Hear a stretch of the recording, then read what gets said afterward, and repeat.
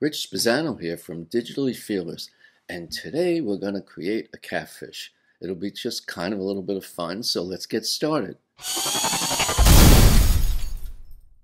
So I have all the links below in the description if you want to use the same photos. I had trouble finding some good ones, so if you find better ones, uh, try that out. So here we go. So the first thing I'm going to bring in is this cat. And it's it's cat and it's on white a white background. So the first thing I need to do is mask out the cat, uh, get rid of the background. So I'm just going to take my mask here and start uh, doing this and following it. And since it's on a white background, it should not be too bad. Um, as I always say to you, I am really not going to do a great job of masking Otherwise, the video will take a lot of time, but you should take your time in doing this. Let's see, we'll just, let's get the main part. I'm also reminding you that I am not in my home. I'm in, I am now in Florida for a while, so I'm not in my home studio, so things are not as easy for me working here. I'm going to hit the Option key or the Alt uh, for Windows and get rid of some of this other stuff here. Um, let's get a close-up. Uh, space bar, I'll move it. And I might speed this up, not sure at this point, so you can, so that won't take so long for you.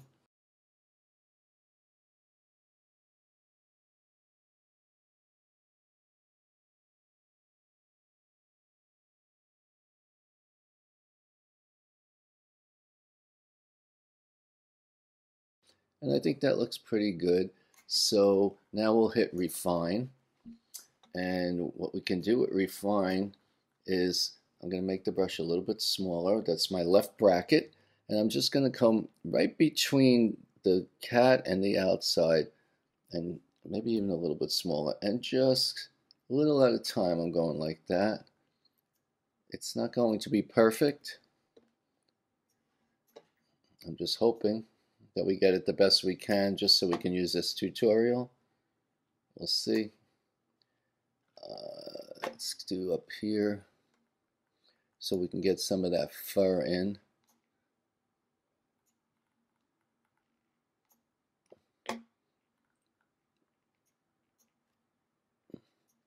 Like I said, I think it'll be good enough for this particular tutorial. You should spend more time doing this.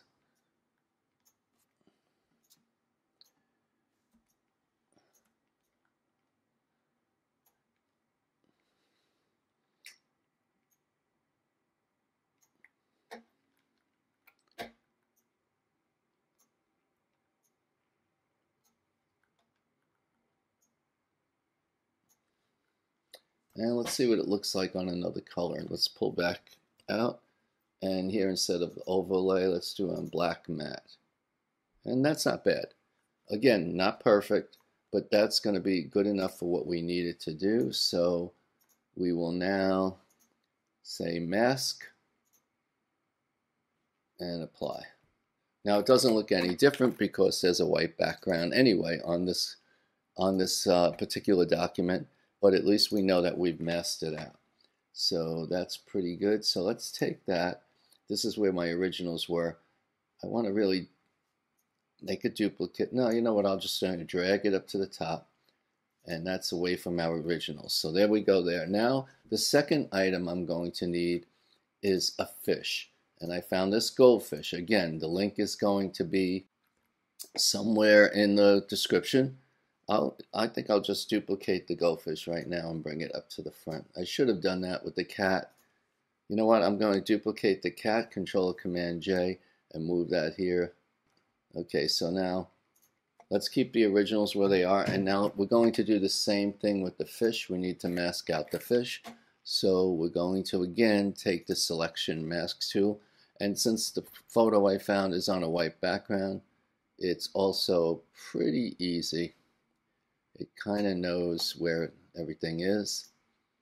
I could have masked the white part instead of the, the fish, but I think this works out just fine. Yeah. And the nice part, we really don't really have to worry about the front of the fish because we're getting rid of the front. And I think that's good. Maybe a little bit right here where the fin is. I can small bracket and with my option key I'm going to take away just a little bit more of that and then add that in. And same here. I don't know if we'll be using this spot but there we go. And then we right here I can add a little bit. And let's take a look double click there and that's pretty good. And if we go back to mask we can hit refine.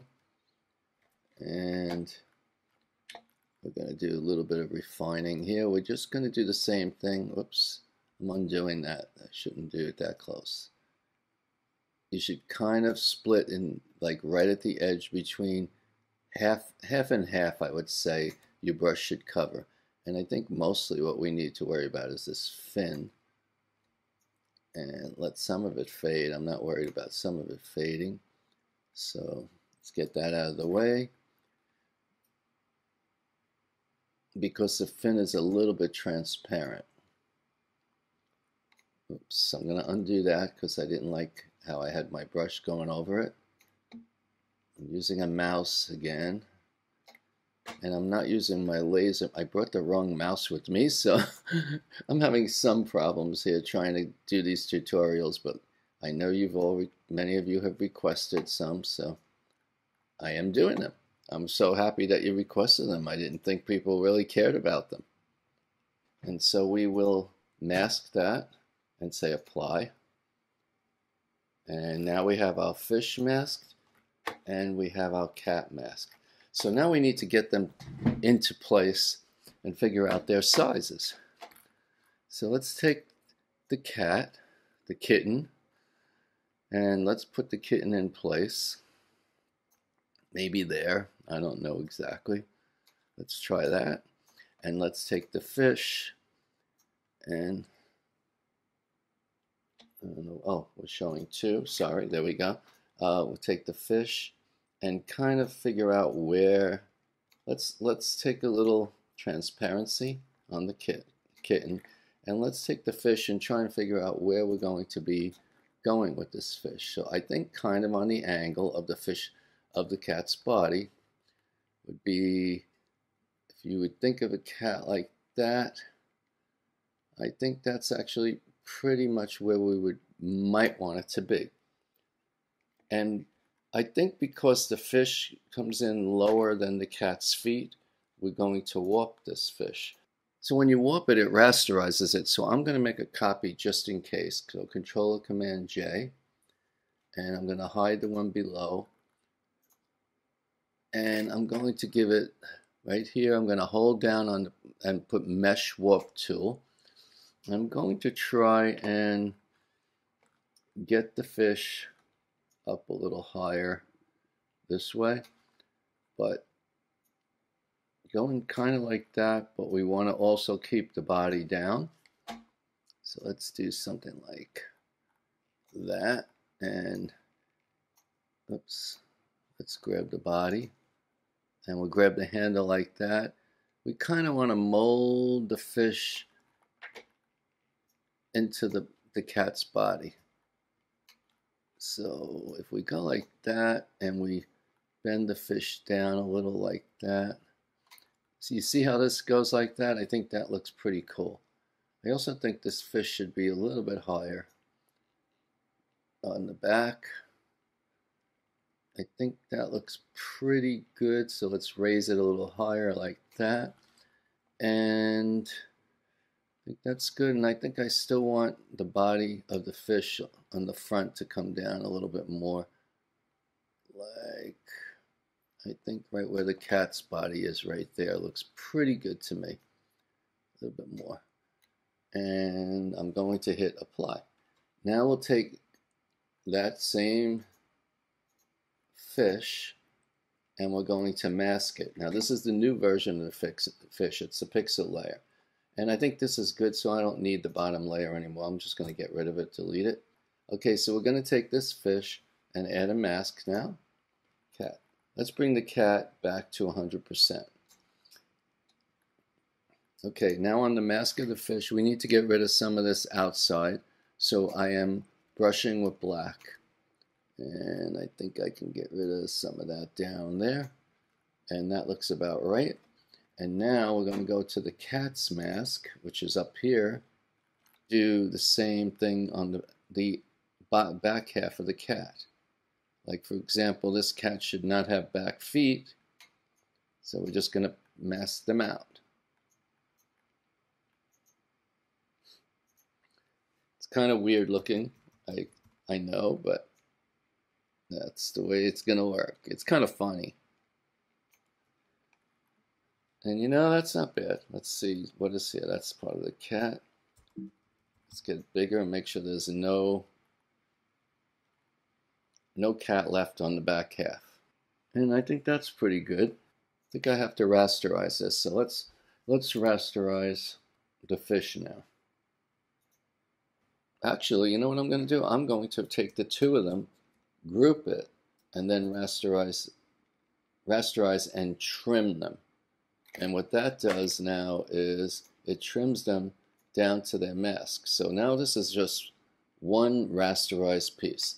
And now we'll go to the clone stamp and we are going to do current layer and now we'll hit the option key to pick the scales and we're going to start adding scales to the cat like that to kind of give it the feeling that it's all part of the same we'll do it we'll grab some over here, some of the darker scales. And I have it on a very soft brush, so it blends in. That looks pretty cool, huh? Give it a little more near his belly. And I would like some of the scaling to go way up here. So, even to the head almost.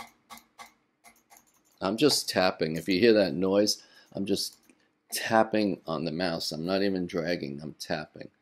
So I want to take some of these lighter ones maybe for the head. Let's see what we can get here. I'm adding them to the cat's head. So it's part of like a little bit like a fish. And some of maybe these darker ones here underneath his ear and coming down. So it's a mixture of fur. And again, I can't take too much time because otherwise the video will take forever. So I'm basically just grabbing from different areas and trying to make it feel like it's part of the fish. I'm taking some here. I think I'll go some dark ones here and bring some of this darkness back down. And if I make the brush really small, and take some of this. I can take some of this right here and give it some of it, some of it there. I think that's good. Maybe a little on the stomach. What do you think? You tell me. Oh, some of the belly definitely down here. So let's get some of this light. We're going to do option click and let's get some of the belly right here. Let's do bigger brush, softer brush. Let's drag a little there, and I think a little bit more here. And I think that's okay. Maybe up the middle. Uh, let's get a little bit of the darker right here. I'm going to say from here, uh, I'll go like that and kind of blend that in like that. And I like that. So we're good. Now I want to kind of take the color from one of the colors from the fish. So let's just do this for now. And just keep that color there just in case. And I'm going to try it two ways. First, I'm going to try a color overlay. I don't think this is going to work, but we can try it. So we'll do a color overlay. Whoops. Which, of course, I didn't. I should take the color from here. Let's do that one more time.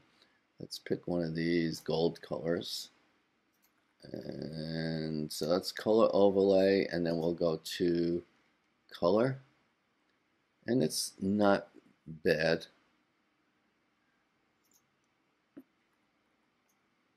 I don't feel like it's got the right feeling to it. So let's not do that. Let's try a different way. Let's try to do a hue and saturation. And we're going to desaturate it. HSL. Let's des oops, wrong, wrong thing, sorry. Desaturate it. Okay, so what I'm going to do next is I want to have a mask of this cat. So I want to take that, first I'll add another layer, and we're going to color this layer. We're going to put this uh, dark gold maybe. And I'm going to group these two. And the reason I'm going to group them is I want to command click on the cat, which, which selects the cat, and then on the group I am going to mask. And so now we don't we could deselect. So now anything I paint will only be within that mat will only be selecting that. You see the edges right there? So what I can do now is the dark gold, I'm going to turn that layer into color mode. And when you paint in color, and I'm painting with gold now, when you paint in color on top of black and white in color mode, you still get all the details, which is pretty cool. I love this. So I'm basically, I, it doesn't matter if I go out here because there's a mask. I can just swish right over it. And I might just do the whole thing for starters. I can erase some if I want to afterwards. But let's just do this, right? Just like that. And I could, with a little eraser, maybe erase the eyes. We can give the eyes maybe another color if we want, and the mouth. And I like some of the white up here. So We'll take away some of that color and some white around the eyes maybe, like that. Okay, so that's the dark gold. Now we'll do com Controller Command J. No, I'm wrong, sorry. Now we'll just add another layer on top of the dark gold and maybe call it light gold. And we could decide where we want a lighter color of gold. So if I pick here I can go to, I can kind of brighten it up a little, maybe like in that kind of gold range. And we could decide afterwards. And once again, this mode has to be color, so the details show through. And I'm going to get a wide, soft brush and and trying to brighten this up. And the problem with this now is I'm brightening it up, but I'm also doing it on top of the one below. So maybe I shouldn't be in color mode. Let's try some other mode. Let's see what we got here. Oh, the problem is no. The problem is I'm erasing instead of... so here we go. So now we start painting that. And let's get some of the brighter colors in some of the areas we might want.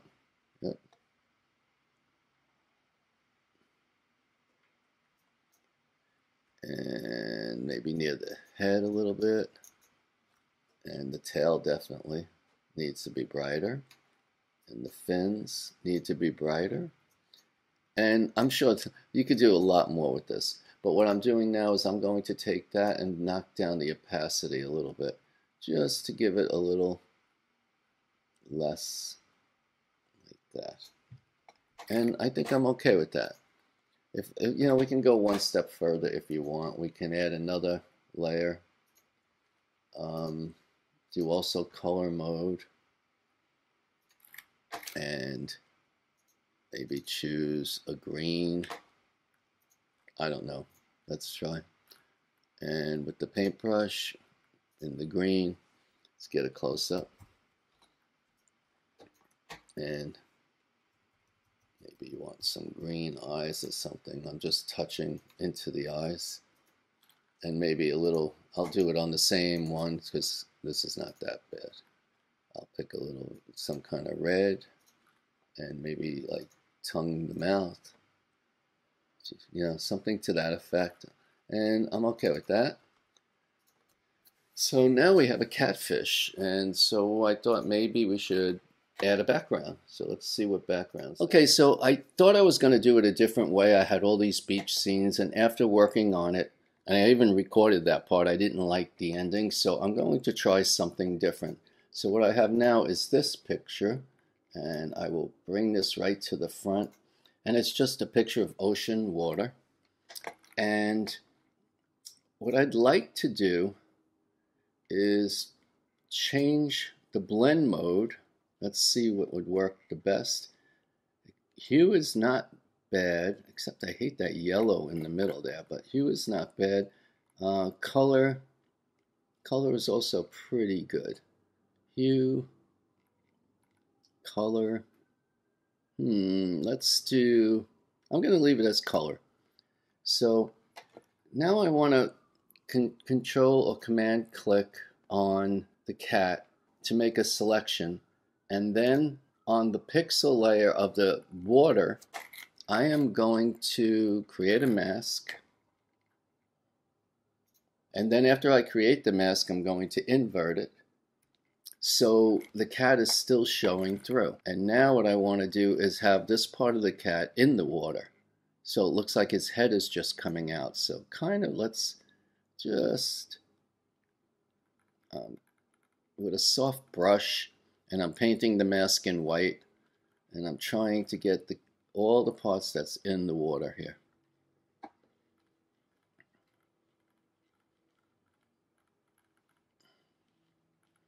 And I'm just painting around and making sure that that's like that. And that's not too terrible. I think I'll even go like right under the chin kind of like that. I'll go a little smaller with my brush. So it looks like his head is just coming out of the water like that. And I'm okay with that, I think. So what I think I'll do now is I will do layer, merge visible. And that gives me a brand new copy. So I don't need anything else here. This is just a pixel layer.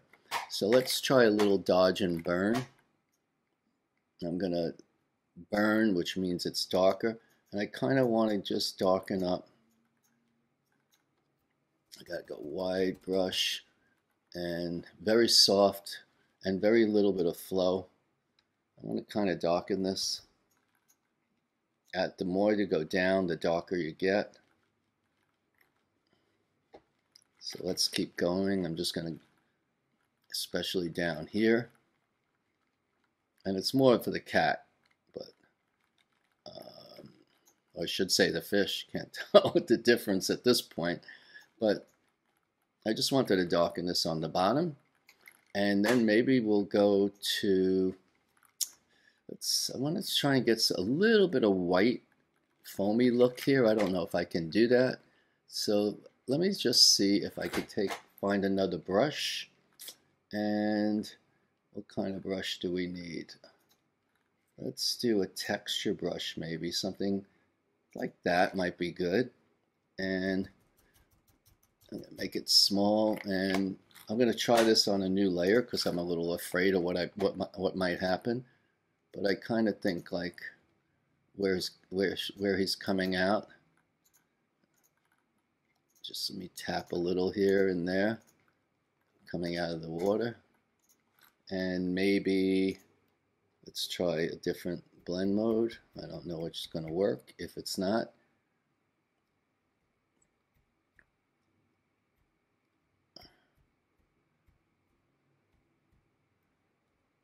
that's not bad. Hold on. That one, average. I'm going to do average. And so that's just kind of giving us a little foam. And I could erase some of that if I don't like it. I can just let me just calm down. I, there's a little bit too much here and maybe up here. I just wanted to look like a little bit of foam as he's coming out of the water. I'm going to also do another layer, um, merge visible again, right there. And then I'm going to go to liquify. It's, I don't know if this is going to work, but I'm going to try and just get a little bit of a distor distortion because it is underwater. So I'm kind of doing this kind of, a, I'm just bouncing it around. It's not quite the right way. I could have used, I think there is a filter for wave waveforms and stuff too. I could use that. But I just want to freehand it. Sometimes freehanding it to me is fun. So I want it to look like like it's not perfect underwater. So I'm just going to go a little up, a little down like this, and maybe a little bit of this like that. And it gives it more of a, here, let's, let's distort this a little bit. And we'll say apply. So I like that. And then maybe we'll give it a vignette. Now, before we give it a vignette, let's do, um, let's take the, that photo now and give it a curves adjustment. So let's see, let's do curves. And we'll do a little up here and a little bit down here, give it a little depth, kind of like that. I always like an S-curve whenever possible. It doesn't always work. And we can also try maybe clarity. Let's see. I don't know where clarity is. Maybe it's in live filters, is it? Mm-hmm. Let's see what else we can use. I think clarity works. And we'll see how much, bring it up a little bit. Just very little. We don't want too much. So now let's give a vignette. So now we select the layer with the, with the uh, catfish on it. And we go to live filters. And uh, there it is, vignette. And let's see what we can come up with. I don't know if this is going to work. We'll try it. Maybe we can move the vignette right to the top of everything. And let's see how this works. Hmm, interesting. I am getting an opposite vignette effect. Oh, there we go. Exposure's got to be way down. There we go. Okay. So exposure has to be way down here. You see, I don't really know half this stuff. I play just like you play, and we just come up with whatever we can come up with. The scale, that's too big, and the shape, I'd say like that. Because we want to focus on the actual drawing of the fish. And the final thing I think we should do is add a little bit of noise. Let's see where that is. Um, that might be under live filters too. Add noise. A little noise just to make it look like it's all part of the same picture. We don't want to go all the way up like this kind of thing. Whoops. Add noise, we want this all the way on top also. Now we don't want to come up that much. We don't want this kind of a grainy look. But it's but if you bring just add a little bit of touch and noise, it kind of will feel like it's part of the same thing. So I'll do that. And I think that's it. So I hope you like this tutorial. It's not perfect. Uh, I, I always say that you need to take hours and sometimes days to get it really where you want to. If I had to do it again, I'd probably take a little more off of here, maybe make this a little more level, um, get rid of some of this orangey in here because um, it looks like he urinated in the water. But so, um, but uh, but for the tutorial, at least you got, um, at least you learned some techniques. I hope you did anyway, and have a good day. I hope you found these videos useful. If you did, please click like and subscribe. And if you'd like to support me, you can buy me a cup of coffee at buymeacupofcoffee.com slash df. And I hope you'll check out some of my other videos. Thanks for watching. I really appreciate it. Bye.